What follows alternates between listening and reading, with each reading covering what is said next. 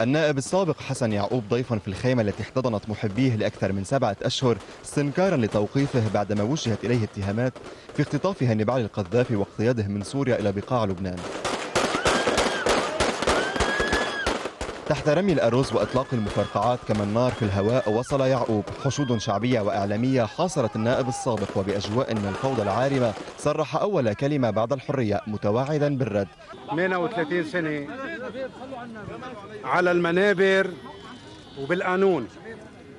القذافي عدو لبنان. مش هيك الأمر المعروف؟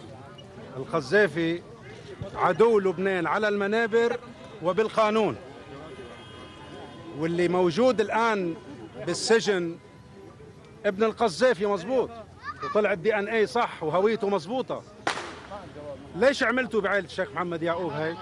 هيك بيشتغلوا هيك الأمانات. أنا طول عمري فخري الكبير إنه والدي الشيخ محمد يعقوب المغيب المظلوم ولكن فخري صار أكبر وعزتي صارت أكبر.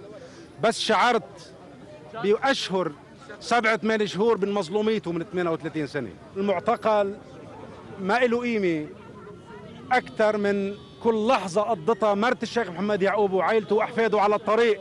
أقسم بالله ستتدحرج أصنام اللحم والدم تحت الأقدام.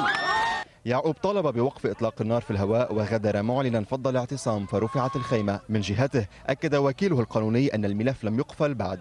نحن متابعين الملف ونحن مدعيين على هنيبال القذافي لأنه هو السبب بتوقيفه بالنهاية في عنا خصم. يعقوب والده اختطف مع الصدر الذي أعاد توقيفه كما اختطاف القذافي وضع الملف في الواجهة اللبنانية.